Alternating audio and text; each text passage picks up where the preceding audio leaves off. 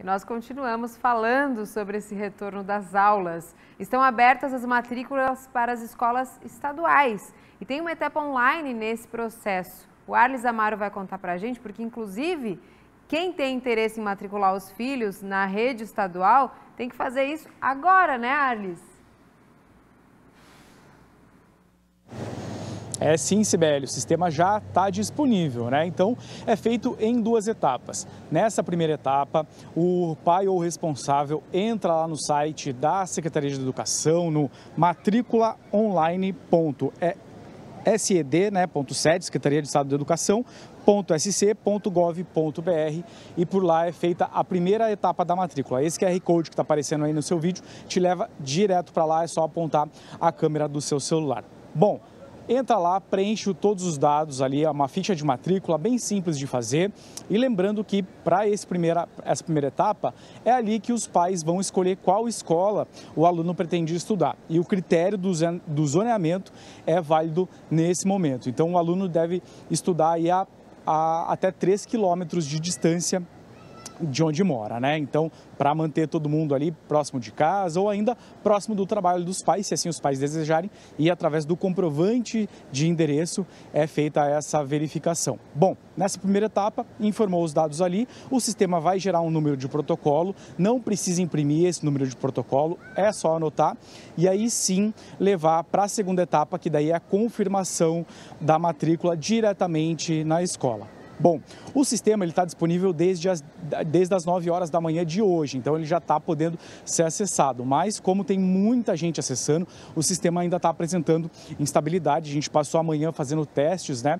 E ele está apresentando instabilidade. Ele fica até as 23h59 de amanhã, então tem um tempinho ainda para fazer, mas é claro, a recomendação é não deixar para a última hora, até por questão das vagas, né? Elas são distribuídas ali por ordem de cadastramento, então quem se cadastrar primeiro consegue aí as melhores vagas às escolas mais próximas de casa. Feito isso, aí sim é hora de levar os documentos até a escola para fazer a confirmação de matrícula. Olha só a lista de documentos aparecendo aqui na minha lateral. Bom, para fazer essa segunda etapa, então, presencial, aí sim os pais e os responsáveis vão precisar levar os documentos dos alunos sempre original e cópia, tá? Então, os alunos vão precisar apresentar aí, os pais dos alunos, né?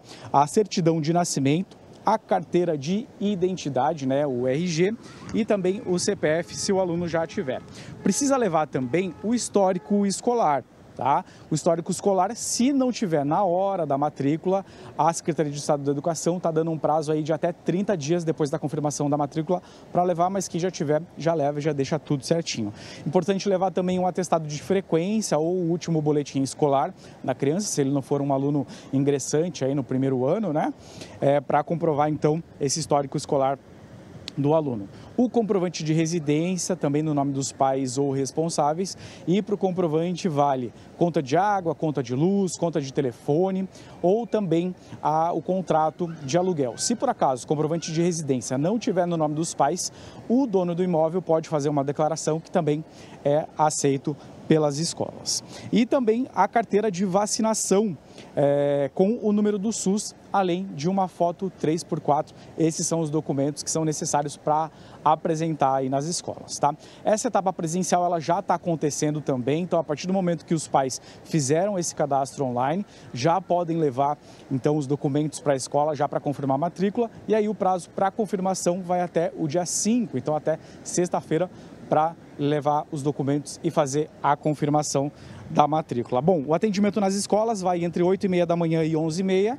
Tem uma pausa ali, SBT meio dia no ar, todo mundo assistindo, né? E aí volta uma hora da tarde e fica até às 5. Nessa etapa presencial, importante o uso da máscara e distanciamento social para fazer a confirmação. Então, matrículas abertas aqui na rede estadual de ensino em Santa Catarina. Sibeli, volto contigo.